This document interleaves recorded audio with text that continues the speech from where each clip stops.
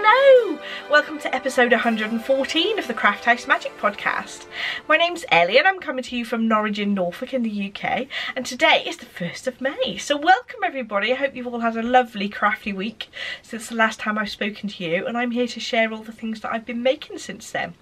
Um, so today I have some knitting, I have some sewing which includes some embroidery, some hand stitching and also some dressmaking. I have a couple of I have a couple of questions from the Ask Me Anything thread. I have a gadget and also I have some information on my shop update which is this evening at 7pm. Um, but I'll talk a bit more about that later. Um, you can find me on Instagram, Ravelry and Facebook as Craft House Magic and I have my own website crafthousemagiccouk where you can find my handmade project bags, hand-dyed yarns, stitch markers, um, HiyaHiya knitting needles and accessories and also fabrics. Um, we have a couple of make-alongs going on at the moment. So first of all, we have the What a Lot of Potter KAL, which I'm hosting with the lovely Becky from the Back to Blighty podcast. And we're knitting anything from this book, um, Harry Potter Knitting Magic. Originally, we were going to stop the KAL at the end of March. No, not March, April. but we've decided to extend it till the end of May so you've still got plenty of time to knit some lovely things out of this book. And I think we had quite a few people that were knitting big projects that hadn't quite finished yet so it gives you guys the opportunity to finish yours off. So I've got the discussion thread in my Ravelry group and Becky's got the finished objects thread over in her Ravelry group. So links are in the down bar to those as well but do come and join in, or even if you're not joining in, come and have a look um, and see what people are making. It's really lovely to see everyone joining in making things. Um, we also have the spring shawl along so it's basically any shawl or scarf pattern um, that you'd like to knit or you finish knitting so anything under 50% that you've started before that's fine to join in with. And it's just nice to see what everyone's picking up really. Um, that will run till the end of June so you still have plenty of time to come and join in with that one. Um, later on in the year I think starting on the 1st of June I'll have a sock along a summer sock along so watch out for that too so let's get on with the knitting bit. Um, I have blocked my Pure Joy shawl. So the Pure Joy shawl is a lovely pattern by Joji Locatelli. And I showed you that I'd finished doing the knitting part last week. Um, but I've blocked it out now so it's all nice and neat. So I ended up using um, just over a skein of my merino nylon yarn for this main part of the shawl. And this is knitted in my own hand dyed Tell It To My Heart colourway this one here and I actually used about between 5 and 10 grams over the amount um, that I had in one skein. So if you have, um, if you are going to knit this shawl, do make sure that you've got perhaps a little bit extra than um, the normal um, skein size um, to make sure that you've got plenty to do that or just you could just start um, the next section a bit e earlier I suppose. You could just have to be a bit careful with your yarn management. I had 20 grams left um, of the other colourway I used for the edge which was actually a lot less than I thought I'd have and this one is my Love Shack colourway. Um, the whole shawl is knitted in a merino nylon base and there's 425 metres to a skein so it's a sort of standard um, skein size so I just wanted to warn you that um, just make sure that perhaps you've got a little extra mini if you're if you want to make sure you stick exactly to the pattern. But I do love this. Um, it's a really nice long crescent shaped shawl um, just how I like it really. And I'll try and show you what it looked like the way I like to wear mine. Ta-da!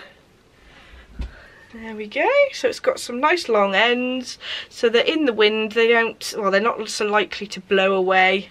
Um, you can see quite a lot of the colour on the outside of the shawl more than the, the rest actually the way I've got it on now.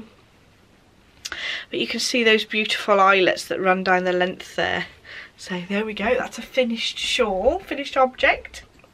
I'm going to take this off because it is a little bit hot in this craft room today. Um, I think I've told you everything about it. I did stick to the same needle size that he had suggested. Um, just the one thing there was that I'd run out of the first um, skein of yarn so I suppose if you did have um, yarns that were in sort of 50 60 gram balls if you got three then you'd have loads of yarn left over so I have another finished object to show you but it is a bit of a cheat because my lovely mother-in-law knit this because um, obviously we're in lockdown we have to sort of stay in. So uh, we've been dropping off um, things over at Adam's mum and dad's house and I've been dropping off some projects for um, Liz to get on with and she's finished this this week. Isn't it gorgeous? So this is the Emiliana shawl by Lisa Hannes um, and I actually had this in the project bag for absolutely ages. Um, I'd started knitting in this dark grey um, and the way I knit is that I actually look back at the rows before to work out what I've got to do next if that makes sense rather than reading every row of the pattern all the time which is probably a bit naughty really. So because there's some slip stitches, I found it really hard to see in this darker yarn, so I ended up ripping it back and getting cross with it and never picking it up again. so I thought this would be an ideal thing for me to give to Liz to do because it's a relatively simple pattern. This um, sort of this isn't proper colour work it's just slip stitches which is really effective though love it um, and it's a really nice long shawl actually and it's knitted out of the most gorgeous gorgeous yarn. Um, it's basically a really soft baby alpaca with a little bit of nylon I think. So here's the label. It's Juniper Moon Farm Herriot Fine and it's a baby alpaca blended with nylon for durability. So it's 75% alpaca and 25% polyamide. So that's the label.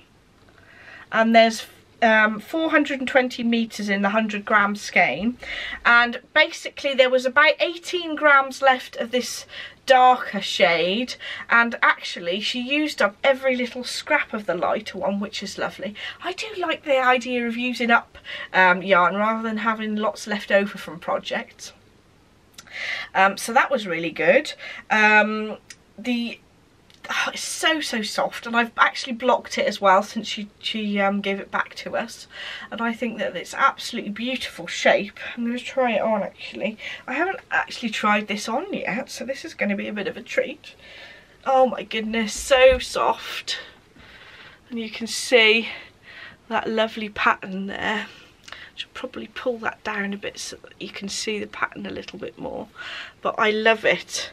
Really nice long ends so that they don't fly off. I could probably do it a bit neater if I was in the mirror properly. But there we go. Lovely. Thank you Liz. So that's another sort of cheat finish object um, to show you and it also means that I've got a project bag that is now empty instead of having things sort of waiting to be started. So that was really quick as well. So the next I've got to show you is a work in progress and it is my transportation scarf. So I too, Becky, have a Marauders map bag.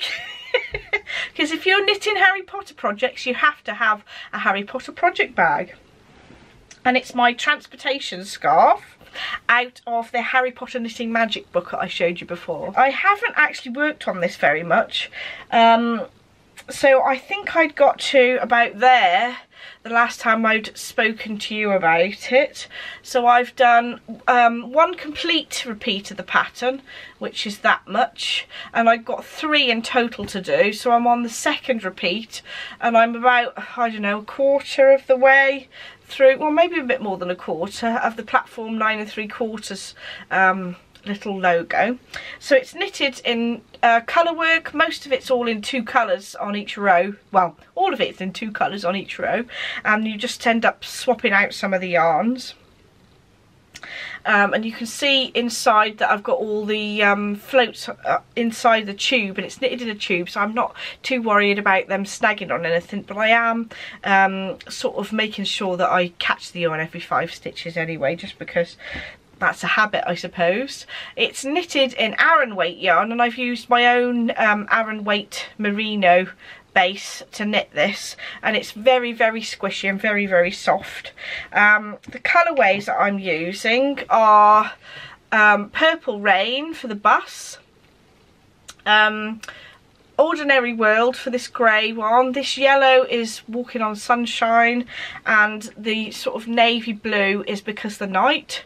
Um, I have, at the moment, I'm only on my second skein of the grey Ordinary World for the background and I think the pattern stated that you needed five skeins and I'm already nearly through the second repeat so I don't think I'm going to need five skeins. I think I'm going to end up, I reckon I'll do it in four or even less we shall see. I'm getting a little bit low on Purple Rain, which is for the um, the bus. So, but then I then again I've only got one more bus logo to do anyway, so I'll, I'll probably be okay and I've got plenty of the other ones left over. So that's going lovely. I was finding that um, I think it's probably because I've been doing quite a bit of embroidery the last week that when I picked this up that my hands were really aching working on a colour work with um, Aran weight yarn as well. So I didn't do too much on this this week for that reason really just because I've been doing way too much handwork with um, embroidery and hand stitching hexagons together. Well, not all hexagons, but I'll show you in a bit anyway. I'm in a very waffly mood today. oh dear. Right, so that's my first work in progress. I've also been working on my Jigshawl puzzle shawl. So this is a Stephen West pattern and it looks a bit crazy. so far I've made this weird shape but I just love um, Stephen's patterns because you just you're excited to get onto the next bit. So the first bit I did was this one here. That's one this little triangle. Two three is this strip up the side. Four is here. And then I'm on little section five. Um, I'm going to try and tell you all the colourways now. This one is Come On Eileen. Um, this one is Nothing's Gonna Stop Us Now. This one is Rock Me Amadeus. This one is Holding Out for a Hero. And this one is I Think We're Alone Now. I'll try and get a bit of a closer look at these yarns in the camera. Hopefully you can see that a bit better. I've got yarns everywhere. So this is knitted actually with four ply yarn, but with it knitted double. And Stephen does suggest that you knit, um, you marl colours together, but at the moment I've decided just to knit the colours by themselves. Um, but then when I start to do more sections I can then mix them together just so that I've got more different colours um, but that's how I'm getting on so far and I'm really enjoying it and it's so so super squishy I absolutely love knitting on this hence the reason I haven't picked up my Gwanwyn um, sweater or my other shawls that I've been but I've done that much and I, I think I can show you the schematic because it is on the um, pattern page anyway. So this is the schematic diagram of what the shawl will look like. So I've done section 1, section 2, section 3, section 4 and then I'm on this section here. Um, so I've done sort of that much. So I'm not even I'm probably about a quarter of the way through the main body of the shawl. So um, I will have a very big and squishy shawl um, after I finished it so all the pattern uh, links and the yarn links will be in the down bar as well if you want to find those out. But basically all the yarns that I'm using are in my um, the colorways are in mini skein set 4 with the addition of Come On Eileen anyway but I'm only going to tell you what yarns I've used already rather than going through the eight colorways that I'm using for that project. So my last knitting project is a pair of socks and it's a lovely little mini set that I got from Ducky Darlings and there was one, two, three, four, five um, little minis in all the Star Trek colours. And I thought I'd knit a pair of socks for Adam in them. Um, so it's a merino nylon base with some little neps in there. And I had a very important discussion with Adam about which colours and what order they've got to be in. And he decided that engineering needed to be above um, medical and I thought well I'll put a stripe of the cream base underneath that um, and he, I think I think he said it was supposed to represent the the ship I think of this colour and then I'm doing the heel flap in the black colourway. I've put a couple of the rows of the black between the other colours as well because I think that looks good. And I'm going to do some different striping down the foot of the sock. So you can see I've just done um, nearly all the heel flap. I'm nearly there I think. So I'm getting on with those nicely.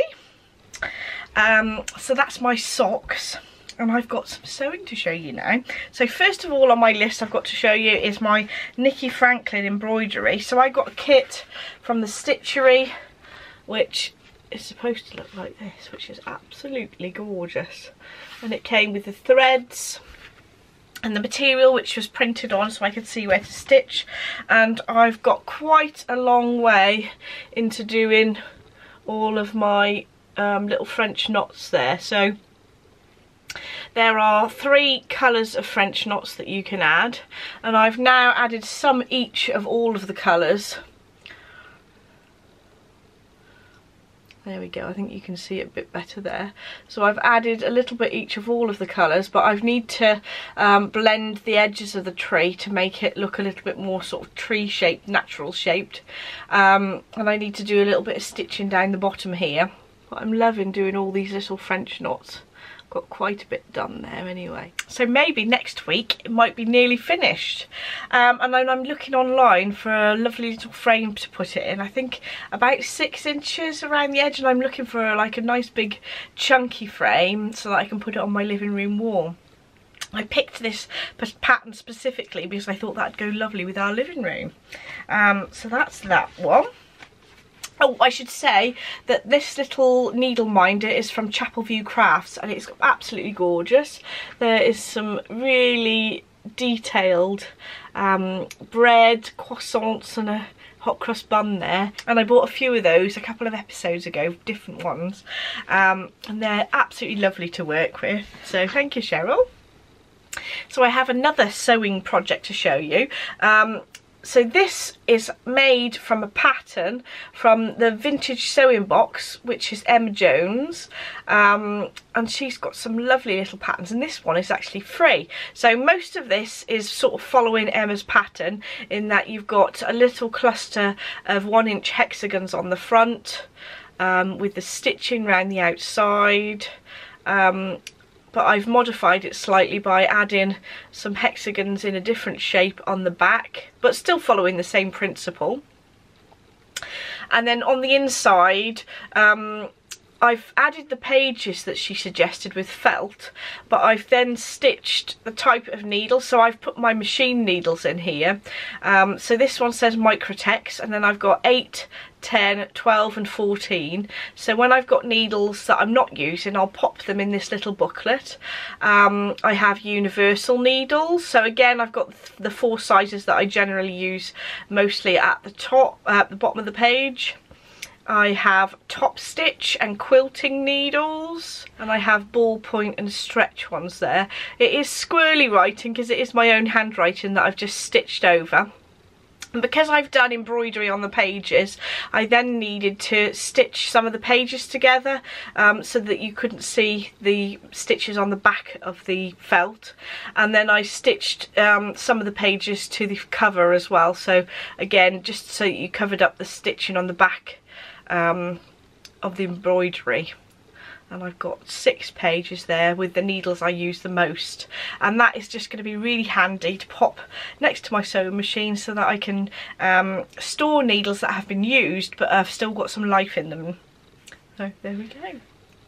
So Emma from the Vintage Sewing Box does some other lovely pieces um, and she's got a pattern up at the moment which is for like a big um, storage case with all hexagons on the front to put all your sort of English paper piece in bits and bobs. There's a zip on one side and then pockets all in the other side um, so you can keep everything together. And she's also got in the works a little um, box which has got hexagons on as well. So I think um, I'd love to have a go at that. Um, so do go and have a look at her website. She's got some lovely things. And like I say, the pattern for this is free, um, but I did make a few modifications to it, and I think I'm going to make another one for my hand sewing needles as well.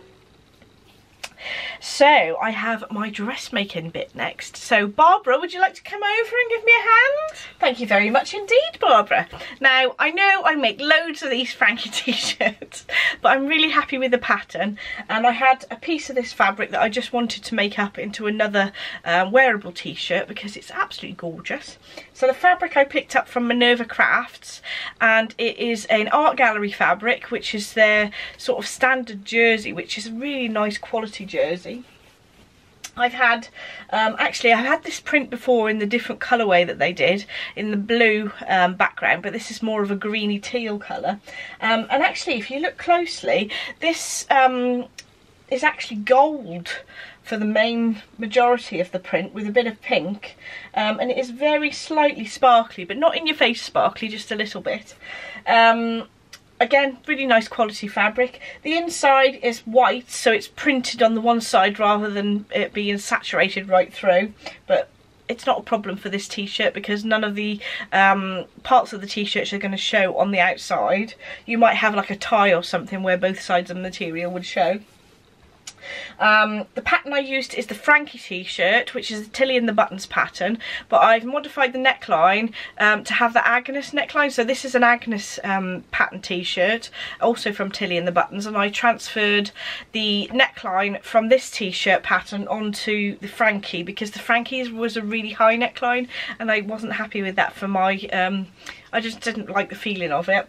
So um, I transferred that onto there. I actually, I did do a video previously that showed um, how I made a sort of Disney themed um, Frankie t-shirt and I did this modification on that one as well in which I explained it more fully. So I'll put a link up there to that video if you wanted to hear more about the neck modification but um, pretty much the rest of the t-shirt is pretty much how it is out the packet. Obviously I've picked my sizes that I normally do. I go for a smaller size on the shoulders uh, and then go wider for the bust and hips area. It's a really nice shaped t-shirt because it covers my bum a bit and it's not too tight at the front it um, skims over the, the bits on the front of the tummy. and I really like the raglan sleeves it's easy to put together. Um, and I really like using my cover stitch machine for doing the hems because it really makes it nice and neat and that stretches out nicely as well. Um, just I just like doing this sort of sewing really even though it's really easy and I've made 10 tons of these before. So I'm trying to sort of replace all my t-shirts that are shop bought with handmade ones. So I'm getting there very slowly. To be honest, I think I'm nearly there now with tops anyway. I just have to concentrate on trousers and um, skirts and things that I need to replace in my wardrobe. But there we are. Thank you, Barbara. So I've been watching the British Sewing Bee. Um, or the Great British Bee I should say and I've really been enjoying the first couple of episodes. I hope you've been able to watch it too. I really feel like I want to do more sewing now for dressmaking wise so hopefully this weekend I can make a few things. Um, I had an email from Minerva Crafts and they sort of listed some of the patterns that they sell from um, indie designers and I saw the Tania culottes um, from what company was it? Completely forgotten. I'll have to look on my phone. From Megan Nielsen Designs. And I just thought they were absolutely gorgeous. And I went over to the Megan, Megan Nielsen um, website and I saw that they actually do a curvy version as well. So they go right up to a size 30 for those. So I'm really excited to have a go. So the Tania culottes uh, basically just look like a skirt but brilliant because they're actually trousers. That would be so convenient for me. So I'm going to see if I can make those maybe. I might have to be ordering some more fabric, which is very naughty. Although, what I should do is Saturday I should make something out of my stash and then I'm allowed to buy another piece of fabric to make something in particular. um, I think that's fair, don't you? So I quite fancy making those and I also saw that the fold line they were doing videos after each of the sewing bees episodes and the first one that she did she talked about the Fiore skirt from um, Closet Case Patterns and I thought that that was a really nice design as well so I'm very tempted to do that one. I seem to have a lot of inspiration to do sort of skirt related things lately. I should go with it when I've got a bit of inspiration really shouldn't I? I just want to make all the things. There's never enough time, even when you're stuck in the house all the time. Um, I also looked up on making some scrubs for the NHS and I looked on the Scrub Hub which is um, basically a way of locating your local group um, which is in charge of making the scrubs and I saw that the Norfolk um, area was actually they'd got a lot of sewers already. So what I did was I found a link that you could actually donate money to them for them to purchase fabrics um, because they've got a lot of people making them already. So um, I used that link to go and donate some money for them to be able to pick up the fabric because it costs about 15 pounds to get the polycotton material for one set of scrubs. So I thought that that was a nice idea rather than um, sort of messaging them and um, wasting wasting their time when they've got plenty of people sewing already. So do go and have a look at the Scrub Hub if you are in the UK. There might be something similar if you're in other countries, but it's a great way of seeing um, who's organising what and you know that it's the official place where you know um, to get the patterns and know what materials to use. I know that um, in some areas they're getting people to you to make the, um, the, the hats that are part of the scrubs as well and all sorts of things. So do go and have a look on websites like that. I did see that Sew Over It had a video video um, showing you how they make the scrubs as well, which I thought was quite useful. So if you are making scrubs for your area, um, do go onto there and have a look. I'll leave links below to anything that I found that I think you'd find quite useful as well.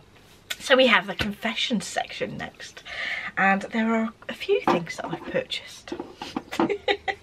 so because I've been getting into English paper piecing a bit more I thought that I'd well I'd seen Emma on the vintage sewing box um, with these really cute little clips. So they're mini wonder clips. So I normally use the standard ones with normal sewing but with the smaller hexagons I just thought how cute are these tiny little clips? So this is the normal size wonder clip compared to the tiny ones that I've just bought. How cute are those? So there is a tiny little area to grip onto your English paper piecing with. So if you look at the size of these little squares and I'd like to do some smaller ones than this as well they're ideal for clipping things together. And turquoise. Ah so these are made by Clover and they come in a little box like this. Um, and I think there's 50 in the box. Yeah, 50 in the box and you've got five different colours, so there must be 10 each. Um, so there's purple, turquoise, yellow and green, as well as the red ones. So you can coordinate with your project. So I thought, I need these. I picked these up from Amazon and I'll leave a link um, in the down box to those as well. I haven't used them yet because I hadn't done any paper piecing since last weekend. I also picked up some rulers. So, I've been watching Liz Sews and she does a lot of underwear making and she's talking about drafting um, an underwear pattern, knickers pattern and I just saw these rulers and I thought I need to draft my own underwear pattern too and I need these rulers. So they're clover and they're called curve rulers with a mini ruler and it comes in this little plastic envelope here and you get three rulers in the packet. Um, and you get three different shapes. I'm not sure how easy it's going to be to see this might be easier if I put it up against something. So if I use my notepad, hopefully you'll be able to sort of see. But it's like a curved ruler that's ideal for waistlines. Um, for making modifications to waistlines, especially with underwear. But also trousers and things as well. And there was this other shaped one that came with it. They're good quality, quite thick plastic and a tiny little ruler um, that will be very useful for making making modifications to patterns as well. So I saw those and I had to buy them. so Liz Sews does some lovely little video tutorials on how to do bra making and underwear making that uh, I've been watching lately. And I keep thinking I really need to make um, these things that she's doing as well. But how do I get I need more time. I need more time to do all these things. So these go back in the lovely little packet so that's my second purchase. I also purchased something else. So I've been watching Davina from the Little Workroom Crafts podcast. She got me onto the Vintage Sewing Box website um, to do the English paper piecing and she did, um, and Davina did a nice little tutorial as well um, on English paper piecing and she was saying about this needle threader. So this is a clover needle threader and you basically um, put the needle in this little hole at the top there, put the thread across um, here, press this little button it threads it. And this one is much better than the one I had before. So I've got one that I picked up from the Knitting and Stitching show, which I've had ages, which looks like this. Um, this one, to be honest, works fine for needles that aren't really fine overuse of the word fine but I found that with the size 10 milliner's needles that I use for the English paper piecing this one is much better. This threads every time. This one just doesn't seem to want to thread the smaller needles even though there's there's one end that does the fine ones and one that does the um, I think this end slightly bigger needles this end for smaller needles but it doesn't work as well as this one in my opinion and I picked this up from Amazon as well. Um, but oh it's just so much easier than having to sometimes when you're a bit tired and you cannot be bothered to try threading a needle by hand absolutely brilliant. And if you've got it it just makes life so much quicker and easier when you're doing hand sewing. So I'm so pleased I bought this. And I'm actually this is not only a confession but a gadget as well so this is my favourite gadget for this week or this month I should say um, so I definitely recommend getting one of these and thank you so much to Davina for recommending it to me. You can get three different colours. I think they do purple and blue maybe as well as the pink. This is the pink one. But I absolutely love this. Definitely recommended. Think we've just got one section left of the podcast. I've got my shop update. So the shop update will be this evening, the 1st of May at 7pm. And I've got a new set of bags to go in the shop. So it, I've got some more batik. I do love a batik. And it's like a pink and blue print. Really pretty. I should really put some yarn in this bag so that you can see the shape of it properly. So I'll use some of the yarn that I'm using for my um, Jigshawl puzzle project. So there we are. It's got a nice box bottom. This one is drawstring. But I do do zipped versions if you want them. Basically the zipped version is the same height but with just the zip on the top. This is a medium sized bag, but I also do smaller and larger ones as well, which I make to order. Um, it's got some lovely um, lilac lining, and you can see my stamp in there with two nice big pockets. Um, oh, I just love this fabric. I've also got the other things that go with the set. So I do a notions pouch as well with the same lining with a little bit of um, grain ribbon for the zipper. I have a DPN case to keep your double pointed needles in but you can also use these for circulars. I have a circular needle case that I designed and I'll pop a link up there of the little video I show how to use them in the same fabric a scissor case. Um, I normally give the option to do, um, you can order a pair of scissors, a needle and some stitch markers or bulb pins um, to go with these sets as like a kit. Um, but I've run out of the scissors at the moment, but I'm hoping that I'll be able to get some in the next few days. Um, I have ordered some, so hopefully they're, they're on their way. And again, if you order a bag that I normally do a little lavender pouch to go with that as well. So that's another nice little set. So, oh, I, what I also wanted to mention is that um, I've actually updated my um, shipping details on my website. So on the menu on the left hand side you can click shipping and delivery and then it actually gives you a rundown of the costs um, per weight of the um, parcels to different countries. So there's one section for UK, Europe, USA um, and Canada and then one for the rest of the world. Um, and I've then given you an idea of how much like one skein of yarn weighs when you've got it all packaged up. So it's about 150 grams. Um, and then also for something like a bag as well. So that gives you an idea of how much things will cost. Unfortunately I can't work out a way of how to convert the currency but it's all in British pounds sterling I'm afraid at the moment. But if you do go to um, Google you can do a conversion to get an idea of how much it'd be. So that's it really. So thank you so much for watching. Don't forget to like and subscribe if you'd like to see more and I shall see you in the next episode. Bye!